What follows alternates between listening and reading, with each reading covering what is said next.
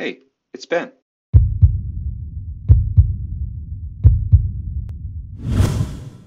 This video is going to show you how to create a Lynx mining node on the Scaleway platform. So the first thing you want to do is log into your Scaleway account that you've already created. Be sure to turn on your two-factor authentication.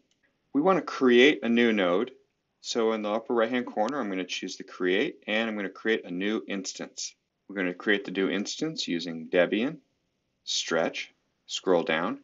You can choose your region as either Amsterdam or Paris. Then I want to choose the least expensive node, the smallest size. Go to Development and choose the 299 euro a month Dev1S node.